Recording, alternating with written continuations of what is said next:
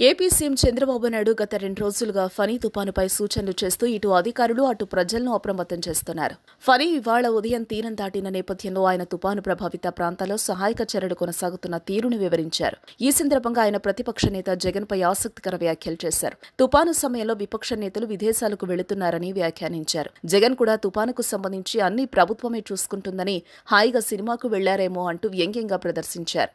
ఆయన జగన్ ఎప్పుడూ రాష్ట్రంలో ఉన్నారని ఇప్పుడుండడానికి అంటూ సెటర్ వేశారు. జగన్ ఇవాళ హైదరాబాద్లోని ప్రిన్స్ థియేటర్లో అవెంజర్స్ ఎండ్ గేమ్ చిత్రాన్ని వీక్షించిన సంగతి తెలిసిందే. ఈ విషయాన్ని దృష్టిలో పెట్టుకునే చంద్రబాబు వ్యాఖ్యలు చేశారు. అంతకుముందు ఆయన తుపానుపై పూర్తి స్థాయిలో పర్యవేక్షణకు ఈసీ అడ్డుపడిందని ఆరోపించారు.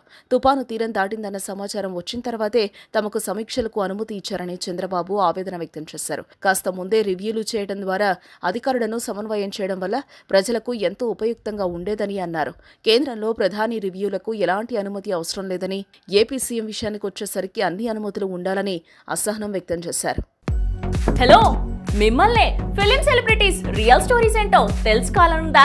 లేటెస్ట్గా రిలీజ్ అయ్యే మూవీ రివ్యూస్ నేను చెప్తే వినాలనుందా?